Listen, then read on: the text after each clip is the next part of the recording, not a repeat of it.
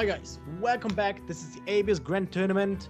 We're in for a treat. The grand final is will be will be happening in a few minutes between Orange and RDU, between Archon and Nihilum. Uh, I would say maybe not Nemesis because we're lacking Tempo Storm in the final and Archon is there, but uh, I mean maybe the second, to, second Nemesis for Archon. Uh, but anyway, before the tournament will come to a conclusion, would like to make a few announcements uh, before the grand final. So, Abios Grand Tournament is, as of course we all know, being hosted by Abios, and you can visit, pay them a visit at abiosgaming.com to see their calendar because that's what it's all about. This is the go-to place uh, go to place for esports uh, site so you can check all the schedules all the matches all the results from 10 different covered games esport titles. Uh, an example games like starcraft dota league of legends uh, hearthstone of course smash bros uh, counter strike and more. And you know just get your life make your life easier by having notifications by installing firefox and chrome chrome plugins. So you can be always up to date with what's happening in the competitive gaming in all of esports and um, yeah that's it. That's abios uh, so you'll definitely want to look into that. If you want to get more information about the tournament just type exclamation mark abios gt so you'll get some term, uh, tournament information in the chat. I would guess that this might be not the best way of doing that in case the chat is uh, more than 25k people and it's right now around 40 so maybe that's not the best way. And the best way to check brackets would be just going it would be just just to go to abiosgaming.com and go to the tournament site. Uh yeah. So the finals Sottle, what do you think? Orange or rdu what's your prediction Oh, straight out the gate, making me uh, put my neck on the line here. Um, I picked RDU in the last game, and that paid off. Mhm. So I guess I'm gonna gonna stick with my boy, and we're gonna go with RDU here. Um, just Okay. look- just looking at the lineups, I think the big talking point here is no Warlock has made it through to grand finals. These are both Warlock-free lineups. So uh, we saw Firebat particularly looking to target Handlock with his lineup. Um, so maybe after seeing the big splash that um, that Handlock made in the the BlizzCon qualifier tournaments. Um, Handlock probably an easier deck to target than Patron, and those were the two big standouts along with Druid. Um, and I guess you can throw Druid into that mix as well. Like out of all three of those, it's probably easier to target Handlock than it is to target either of the two other decks. Um, just because you know the the tech cards against them are just so swingy. Um, you know, we saw Cypher running things like Black Knight. We saw Oh, yeah. running things like extra big game hunters. All of those cards really effective against uh, Handlock, and it seems to have worked reasonably effectively. And the the Warlock players have not made their way through the grand finals. Mm-hmm, that's true. And yeah, as you said, Orange doesn't have the handlock. RD doesn't have the handlock. Um, but oh, by the way, one more information because I would I I would more most likely forget about it. Orange is playing from a hotel because he's back from a fireside gathering, so unfortunately he will not have his camera. Okay. But that's cool. Uh, RD will have it, so you can uh, enjoy his majestic mustache. And um, what else can we say before we start the games? Because we'll be going briefly into those. Um, I mean, we have missed- we have Priest in grand finals, right? That's a talk. yeah, that's I that's amazing. Mm. And if you missed any of the games, if you missed any of the semifinals, quarterfinals, you can check the VODs on the YouTube channel of Abios, which is youtube.com uh, slash Abios Gaming. And of course, hit the follow button for the future Abios tournaments on this site. So Yeah. twitch.tv, Abios TV. You're sitting on it, why not click the follow button, right? Indeed. So just looking at how the matchups line up in particular, we have Druid Paladin Warrior from RDU versus Druid Mage Priest from Orange. Um, so let's just single out the Tempo Mage as a talking point. How does that do in general against uh, RDU's lineup?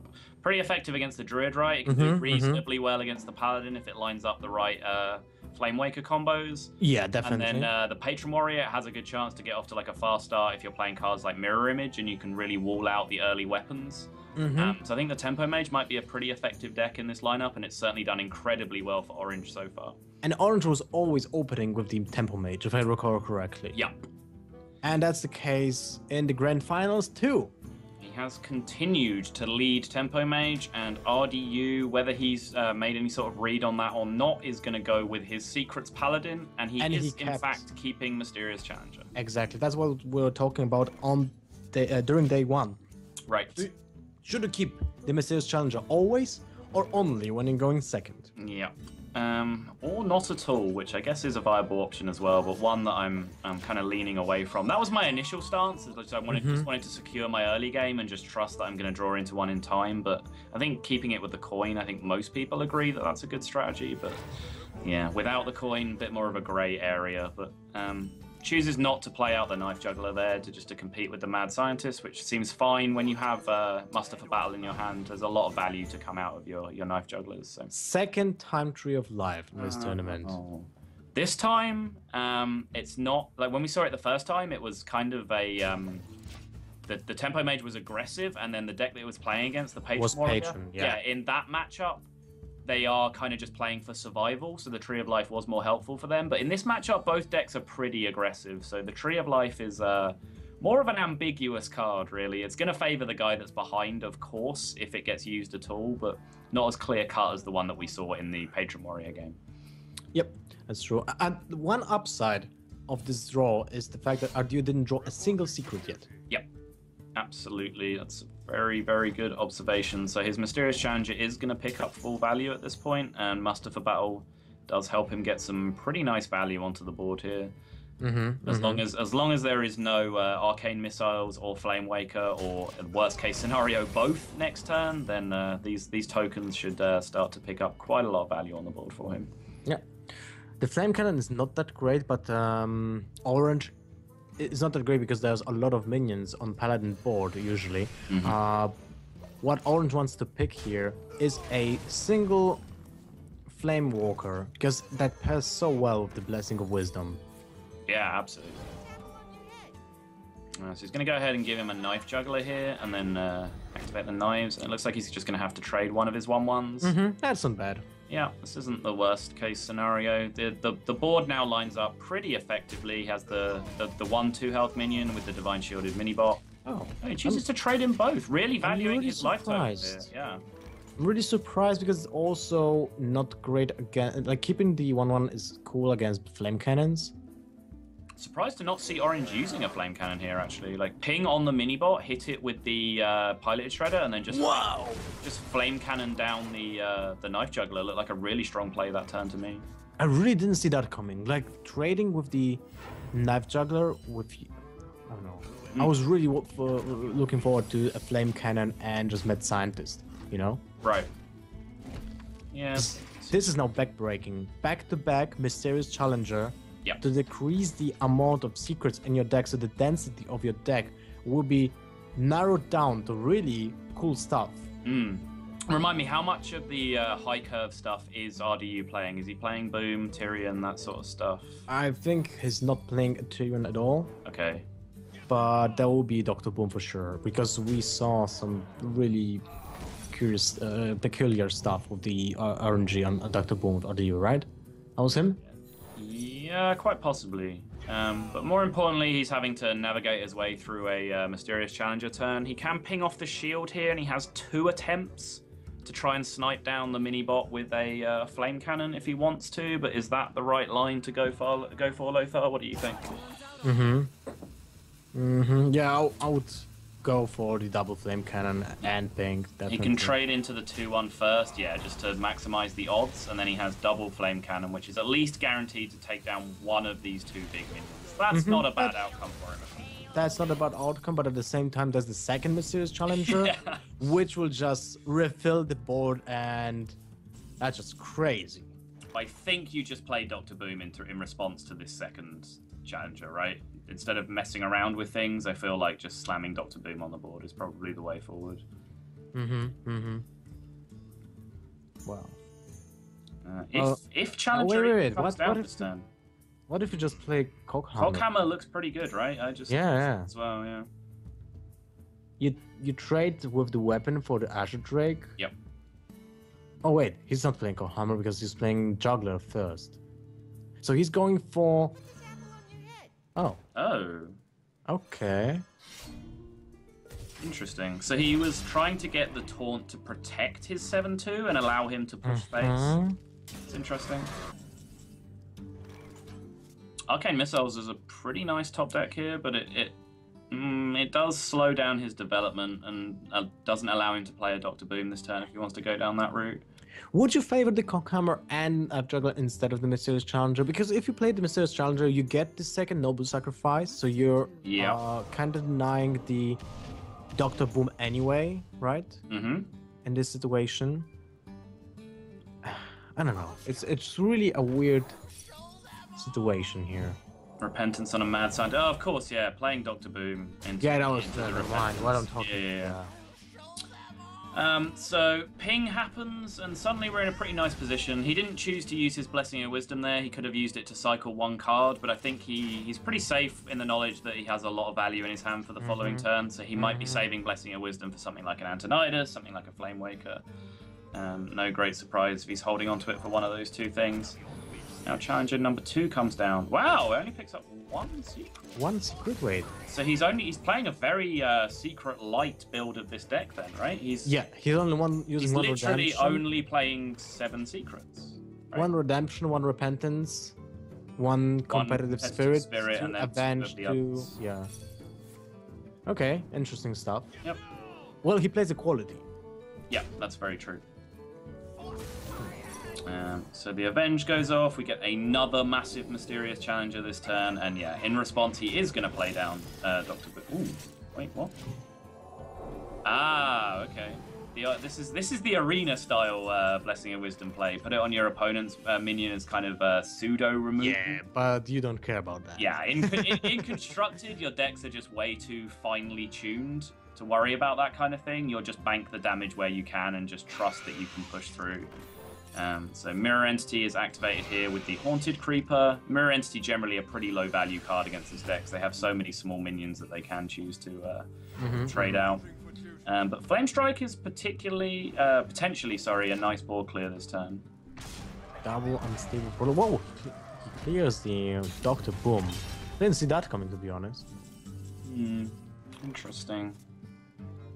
So, not enough mana to Ronin and Ping. He can trade the Boombot into the 9 1 and see what happens and evaluate whether he wants to Ronin from there. But Ronin looks pretty nice, right? You feel comfortable. Yeah. You feel comfortable with your life total right now if you're clearing this 9 1 off the board. Ooh. I think that uh, do you wanted to trade just because he has the Tree of Life in his hand? Yeah, sure. But that is his deck density enough to ensure a win after? Yeah, I don't think. Oh wait, that's lethal. That is lethal. Boombot to face and fire. Ah, that's wow. orange. That's also orange during the semifinals with the crazy boom bots. I was gonna say that is not the first time that Orange's Boombots Yeah. have done insane things for him this Wow. game. So yeah, wow, that's pretty incredible. That's Orange. just devastating.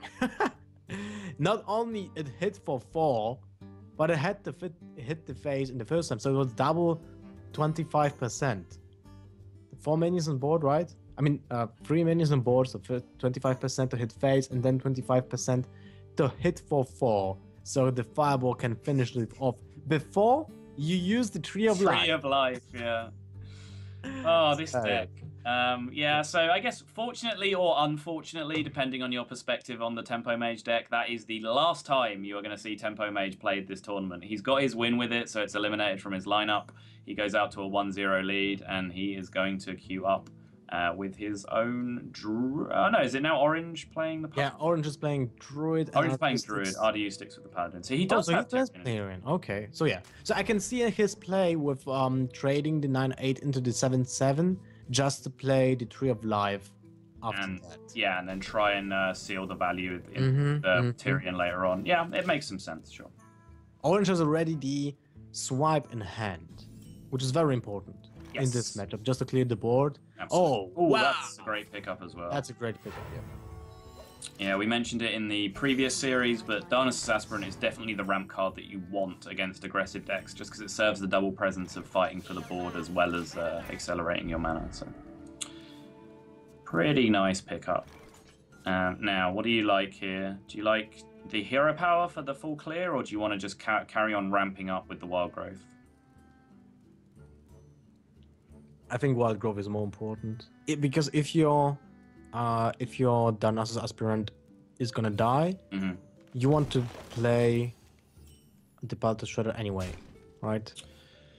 Yeah, I agree with that. Um, gives you security. You may Or need to, the other- yeah. this, all potentially the swipe as well in this situation that we see Mhm, here. mhm. So, yeah, I, I like the security of making sure that you have four mana next turn. Um, seems like the right line. Uh, he does have the option here to play Pilot Shredder if he wants. Obviously, things like swipe, just like removal spells in general, are stronger if you use them when you have With- a board yes, consolidated exactly. already.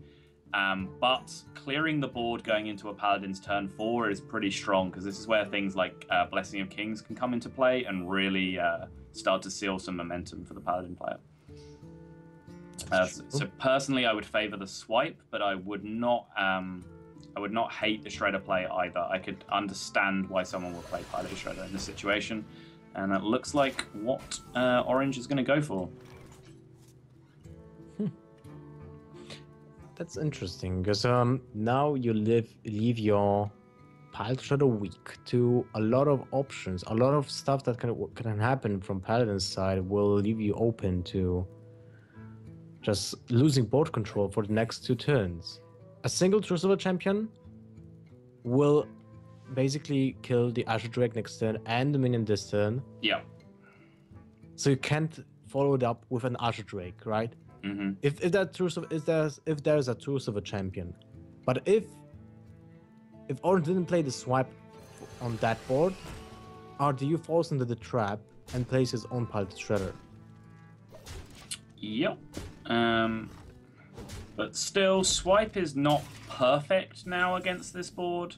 He's probably going to leave behind either the Shredder drop or the uh, mini bot, depending on which one he values um, and how he chooses to go about it. He does have the option to like trade Shredders first, and then if the minion that comes out is a one health One minion, HP, yeah. yeah, then that is a full board clear. But I don't know if that's the line you want to go down.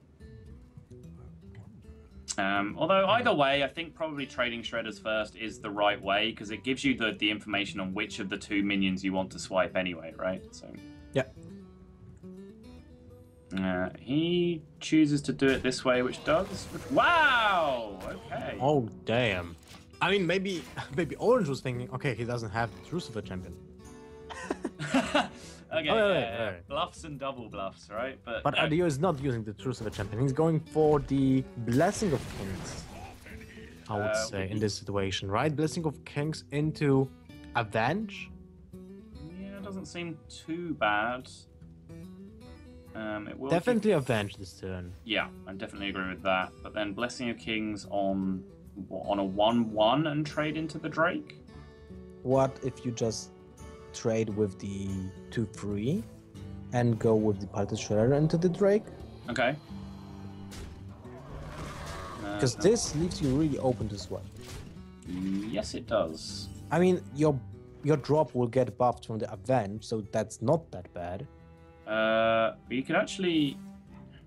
Isn't it better to hero power down the shredder Yes, first and then swipe the minion that gets avenged? Ooh. That's a millhouse.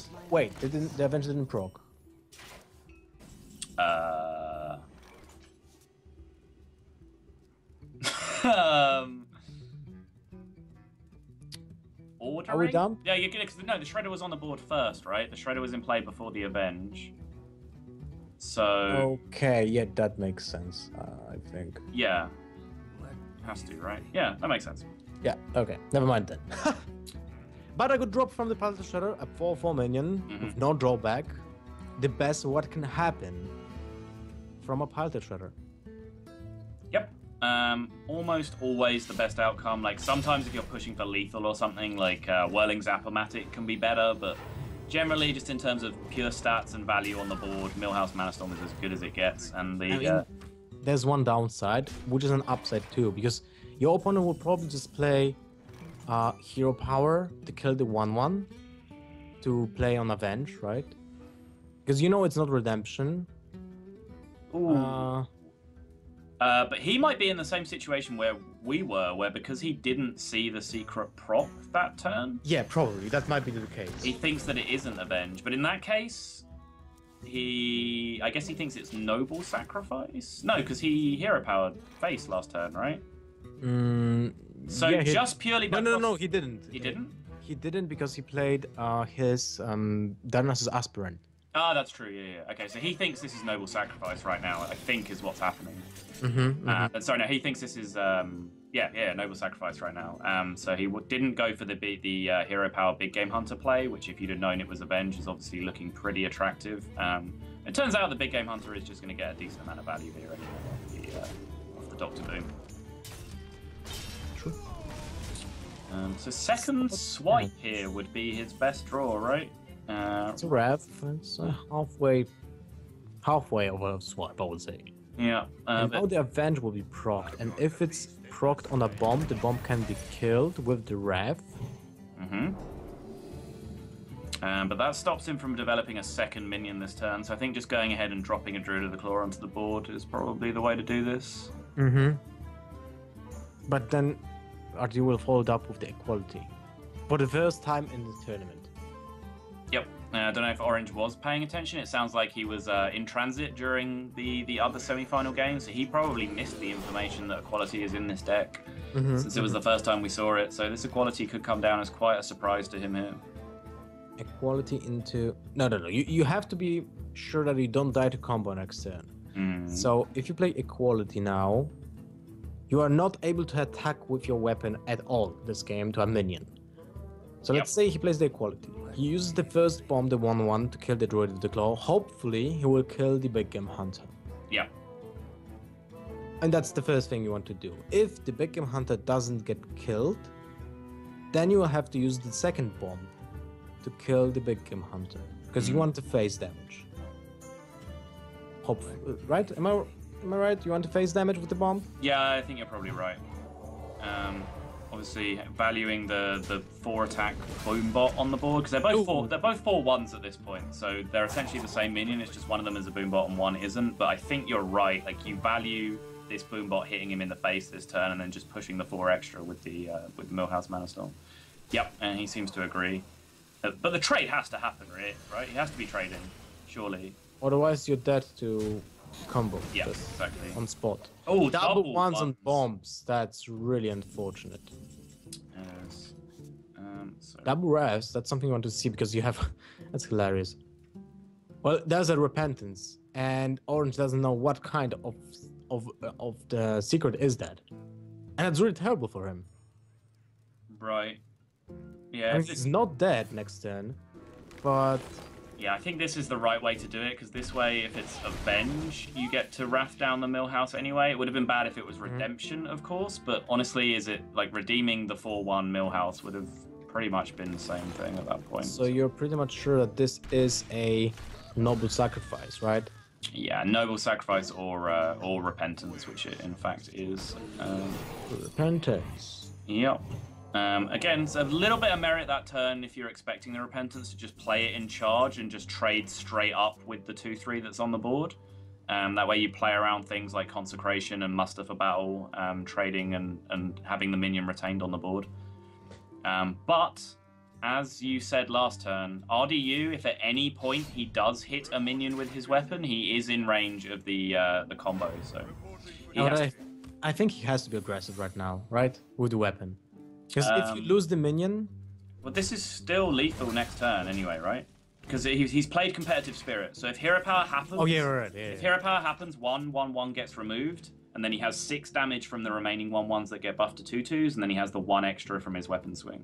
unless your opponent has double keepers and hero power, Yeah. In which case, then you are just top decking. So and you need a Tirion or uh, Um, basically Tirion. or a mysterious challenger, right? Because mysterious challenger would get a noble sacrifice. Oh yeah, that's true. Yeah. But there are two keepers on board, so you die to combo anyway. Uh, yes, that's very true. Hmm. So uh, would you die to combo through Tirion? In fact, with the two What? keepers on board. Uh, well, you use the face. No, you can't use the. No, you can't. Hmm. Well, you can. You will be one off. Uh, well, no, because this there's, there's two damage, well three damage from RDU that's going to be pushed forward this turn, right? So Oh, it yeah, will, right. It will be Uh, too low to hit Tirion with his face if that happens. True. Consecration is reasonable, but RDU has some decisions to make here. Um, I think you have to play the consecration this turn also. I think the consecration definitely gets played. It's just a matter of whether you ever bother to trade with one of these minions. Nah. Um, and I don't, think, you do. because just killing one of them doesn't play around the combo at all. Um, in fact, RDU is just going to choose to hold on to the consecration. Fair enough. Okay. just if he top decks Tirion next turn, um, then he might be in a bit of a feels bad man situation because he's not going to be able to do both of those things. So. Mm-hmm, mm-hmm. Oh wow, double innovate. Well, that's the worst draw you could have got. Good again. It is. You might as well just spend one of the Innervates here just to use your hero power. Yep. Um, gain that one Four, extra eight, life. 10, 12, 13 damage next turn. So not lethal. Uh, based on the board, right? But with the with the force of nature in hand, it is of course Yes, lethal of next course. turn. So he needs a big top deck here, and a And bend that's is not it. not it. And he is gonna find this game slipping away from him here. And that's really unfortunate. Look at that. Orange is left on 2 HP, which means if the boom bots were heading for more, more than one, That is a this very would be very game good point. for Radu. Yep. Both boom bots were heading for one. That is an excellent point. So yeah, if if both of those boom bots had rolled one extra, or if one of them had rolled three or above, then yeah, this would have been a very very different outcome. But the force of nature is just going to come down, seal the game, and Orange is going to go out to a 2-0 lead now, and he's sitting pretty to take home the inaugural Abios uh, Hearthstone tournament, the Abios Grand Tournament, in fact. Um, so all he has left to win with is his Dragon Priest, and Dragon Priest has a pretty good matchup against uh, the Secrets Paladin, right? Yes, and against the Druid too. Yeah, pretty So decent against the Druids as RDU well, is not in a great spot at all. for sure. Not feeling good. Feels bad, man, to be honest. But at the same time, it's not said that RDU can't win this. We have seen better comebacks and more improbable com- uh, comebacks in Hearthstone competitive history. So yeah, just buckle up, Radu, and win this game. Like the next one will be the most important, of course. Everything is on the line. So if he loses, he's out of the tournament and takes the second place. But if he wins, he'll get his hopes up. So he's going to choose to queue up with the Patron Warrior here straight away. Um, I like this matchup a lot for the Patron Warrior, especially if you get the card that you see there, which is Death's Bite. Uh, weapons just get so much value against Priest, just because. Mhm. Um, you know, the only downside of weapons, really, I mean, they're fantastic cards, but the only downside is that you have to trade your own health for removing minions. But against a priest, they have no real threat of bursting you down, so you can kind of happily trade off your health for removing minions as long as the board just doesn't get out of control, which is what the weapon prevents them from doing. So, um, anytime you have an early Death's Bite against Dragon Priest, I think you're feeling very comfortable when you can just wait the necessary amount of turns to, to draw into things like Emperor and uh, your Warsong Frothing combos just to finish out the game. Yep, that's very true. So, um, do you even want to do anything here? Probably not. You just. I- Yeah. I'm not exactly sure if you should even follow up with an Acolyte of Pain. I mean, your draws are more important than your opponent's draws. I mean, Mhm. the priest draws are less important than the warrior draws. So maybe you should go for it. I think the inner rage here almost certainly makes it worth it. Mm-hmm. This isn't this isn't one of those matchups where you really need to do turn five uh, patron combo. So inner raging and acolyte for early cycle is one of the best uses of it. So I really like the play here. Hmm. Power word shield comes down as a little bit of a quote punish, but yeah, I was about to say I still kind of just prefer coining out the uh, the Twilight Guardian here.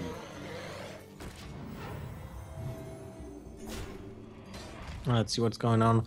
Um, the Death's Bite here will allow him to throw it. Oh, Ooh. Never mind. I think we found the uh, the, the rare best option here, the right? rare turn where turn four death Despite is not the best option available. It looks like ooh, Never mind. He, no, he thinks it is. I, I definitely favour the um the slam inner rage there just for maximum cycle. Play Battle Rage with Armor Smith. Uh, do not have enough mana. Okay, sorry. Our, our, our POV is uh, freaking out a little bit here. I don't know if it's the same for you, Lothar, but I'm Yeah, experiencing kinda- a little bit of lag, so couldn't quite see uh, how much mana he had that turn. So my mistake. also. Uh, this turn, what's going on? The spectator POV also makes uh, some problems here. 10-6, RDU did draw additional additional um, acolyte of pain, but I think you just go for for the Gnomish Inventor and Weapon to clear bo- to clear the Cleric on the way, right? Yeah, I like this. You don't feel too great about um, slamming the Gnomish on the board going into your opponent's turn six because of the threat of something like Cabal Shadow Priest. But honestly, even though 2 4 is about the biggest body that they can steal with Cabal Shadow Priest in this matchup, you'd still rather that got stolen than, uh, say, an Acolyte of Pain that is, is still waiting for, for max value. Mm-hmm. It looks like he's debating inner raging down the 5 4 here, which is an interesting play as well. Well, we didn't see a Velen's Chosen yet, and that was a good option to play it, so I don't blame him on not killing the cleric. Blackwing Corruptor enables a pretty good trade here as well, and uh, the Patron Warrior is actually quite rapidly running out of time. He's at 17 health. There's another 5-4 on the board that he doesn't have two appealing ways of removing. He'd have to do something like Acolyte and Whirlwind and then War Axe it mm-hmm. down. If he mm-hmm. wanted, if he mm-hmm. wanted to get it off the board, but yeah, I would I favour this kind of development play, not worrying too much about it. Get the Armorsmith down, start gaining yourself a little bit of armor. Okay. Uh, but Sounds here, good. here is where a Cabal Shadow Priest would be really punishing, but unfortunately for Orange, he doesn't find one in his hand. Is he even running Cabals, in fact? I'm not sure if we've seen them have. I was just thinking about it. I don't think Yeah. he is running any. All right, that would, that, would, that would go some way to explain uh, RDU's play here, because he has been a little bit fearless against Cabal Shadow Priest, but at the same time, he's been forced to kind of play this game fast because uh, Orange has built up a lot of mid game pressure against him with the double Blackwing Corruptors. That's true. I'm still wondering if there will be a case for the Nexus Saraad. He's being drawn almost every single game, and we don't see him being used at all. Yeah, we, have, we haven't seen him summon a single spell this entire tournament, right? Mm-hmm. Yeah. Mm-hmm. That's Uh, yeah, I kind of like it here. Yeah! Alright, finals time. true. Woohoo! Let's go. RNG. Alright, what are we going to get? Um, Pyroblast. Pyroblast. Okay. Just straight in there, straight for the gusto. Oh! Unstable portal! Okay. RNG into RNG. We know all about Orange's unstable portals, right? So that is that is a pretty good pickup for him based on the way that his portals have worked out so far. You have to go with the patrons here, right? Uh, yeah, I would imagine so. But then you can't clear the Blackwing Corruptor. So maybe you're not. Uh, we can, right? No, no, no, you can't. Because if you go for the Whirlwind, Patron Whirlwind. it's it's for, free. Oh yes, yeah, you're right. Yeah, Patron Whirlwind, you trade your two guys into the Saraad and then you War Axe down the 5 4. Mm-hmm. mm-hmm. Yeah, okay, Never mind me. Uh, But he let's- goes let's for this. Interesting. Shadow Word: Death. So he can use a Holy Nova here to deny the triple draw from the Acolyte. That looks like a pretty good starting point. Mm-hmm. But it's not healing his minion. No. It kind of sucks. But you got to do what you got to do. Denying the card draw is pretty important. It does give him like double value out of the Armor Because it gets to uh, tank two AOE's, but not much of a way to avoid that. Does end up as almost a full board clear. Just leaves the Gnomish Inventor on the board, and he can play down Mhm, to stay uh, a two-four Wyrmrest agent to be competitive against it. One important thing is the fact that uh, Orange has still access to the Azure Drake Holy Nova to clear the board of patrons. Yeah, I mean that is a turn away, but he does have that option. And it looks like he's turning down playing the Wyrmrest agent just because of fear of uh, Warsong Commander Grim Patron on the following turn. Mm-hmm, mm-hmm. So you go with patrons this turn, right? But only patrons, no Warsong Commander. Three six and hmm. I mean, you have kind of stabilized your life total, and you you are staring at Warsong Commander frothing and two whirlwinds in your hand. Um, so I could So you wait for I- Emperor? right. I could understand the mentality of like going for the OTK plan this turn, um, but I wouldn't hate the patron development idea either. I don't think we've seen Light Bomb from Orange's Dragon Priest list so far. Um, No, I don't think so. but yeah, this is the last turn that, we're- like, from our perspective, we know this is the last turn he can get away with the patron board because any turn after this, it's just going to get answered with the Azure Drake Holy Nova. But he does choose to turn it down, and that pretty much looks like Oh god. wow. Uh, is that even good against patron? um, I'm not exactly sure, but it creates more more minions on board, and that's definitely a downside. yeah. Wow, he's not going to trade with the 2-1 here. Oh, gonna, he goes for the Hogger He's going to be aggressive. He's going to put down Hogger. He's going to put down the Wyrmrest Agent. He's going. To... This is basically a play to encourage the Warsong Patron because he has the perfect answer for it on the yes, following turn. That's true. He's baiting out the Patron, the Warsong Patron. Yeah. And I'm sure that RDU will be aware of that. Wait, wait, wait. Uh, no, you you can't squeeze in no, all, all the you whirlwinds do, and executes. Yeah, all you can do is double frothing and one whirlwind. So uh, that's not, not enough flexibility to yeah. get the taunts. Hmm. One of the frothings will still get tanked by the Wyrmrest agent, so there's no way that's going to be enough. Um, so he is going to have to uh, think heavily about using his one and only Warsong Commander in hand here to go for a board clear with the Grim Patron. Of course, if he does that, He's then back to the waiting game a lot more heavily than he was previously because he's now waiting for he's kind of waiting for Emperor and the second Warsong Commander now. Yeah, that's true. But I think that was the, the play here anyway, right? Uh, so he's gonna whirlwind first and then trade with the fresh patron. Yeah, this is fine because not like any attacks you make first, you don't get additional patrons anyway because you would just leave a one health patron behind. So the ordering wasn't too important here. Yeah, you could have get, got yourself a big board of one health patrons if you'd have really wanted to, but honestly, like, what difference does it make, right? Mm-hmm. It, no difference at all. yeah. So he's left with two berserkers, one patron, one whirlwind, but no Warsong commander and no Death's Bite. Uh, he's going to go with the Vol'jin Holy Nova here instead of the Azure Drake. Or he's at least thinking about it. Um, I understand the merits of it. It gets a bigger but minion. That's like two play. two damage more, but the, the minion is less reliable because it will have only 3 HP. Right. And you lack a draw. And I think the draw might be the most important aspect here. The draw might be important, yeah, but it's.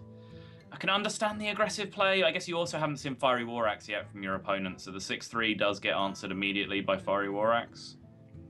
I guess that's a concern as well. And it looks like he's come to the same conclusion and that the Azure Drake is the superior option. Just going to go ahead and Holy Nova. This lets you get one more damage to face with your Holy Nova anyway. So some of uh-huh. the, some of the extra aggression that you lose with the smaller minion, um, yeah, it, it, it's it's regained from the extra damage from the Holy Nova. So I think overall the the Azure Drake is the more solid play there for sure. So now he, what he needs is next turn draw Emperor into Warsong Commander. Um, well, how do you feel about this turn just going for patrons all over again? Because you've seen both Holy Novas at this point, right? And as, as we've discussed, I don't think we've seen um, uh, Light Bomb in Orange's list. So you can potentially just hmm. Grim Patron, Cruel Taskmaster, Whirlwind again and get yourself four patrons all over again. Okay. Mm, I can see that happening. Yeah, that's probably the, the correct decision. I think it's a pretty reasonable option. I think otherwise you're playing a pretty long waiting game at 15 life, um, staring already down an Azure Drake on the board, and like the development is just going to get stronger. Yeah, and it seems like RDU agrees. He's just going to go all in here. Um, so he needs these patrons now to carry him to victory. If these patrons go down, he's pretty much out of stuff. You know, even with double frothing in his hand, he's used so many whirlwind effects um, already that if there is an answer to this board, he's pretty much accepting that the game is lost. Mm-hmm.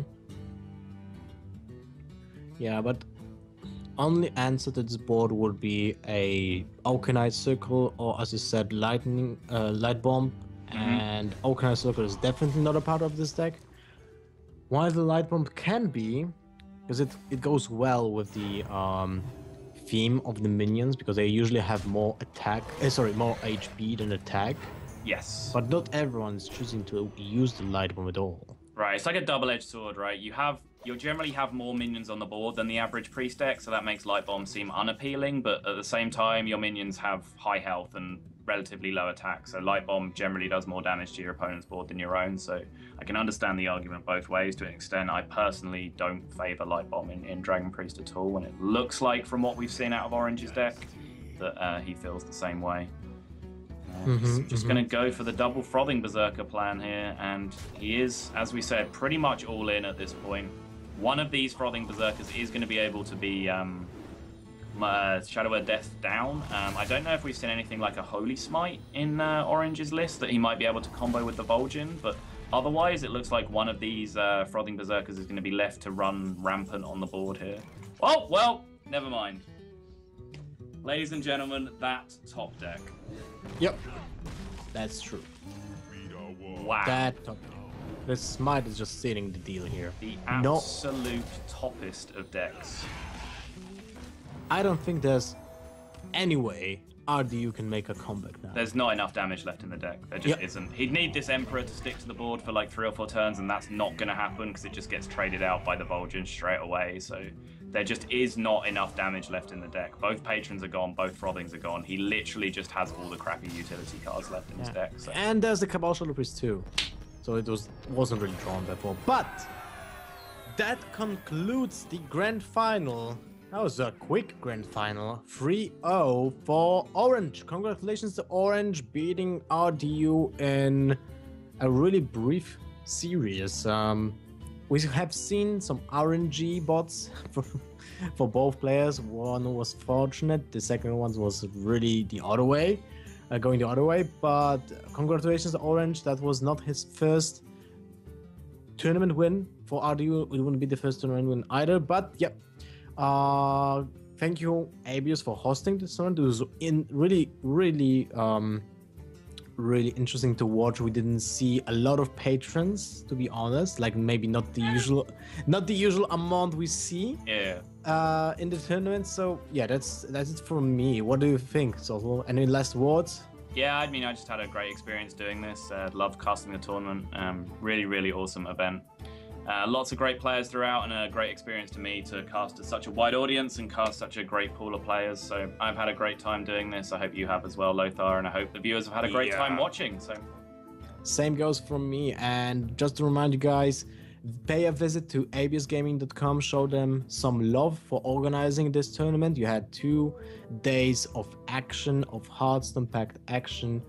And thank you very much for watching.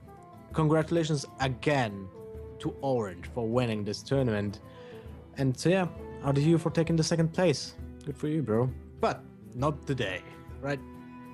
Thank you again from me and from Sottle. See you guys again. Bye bye.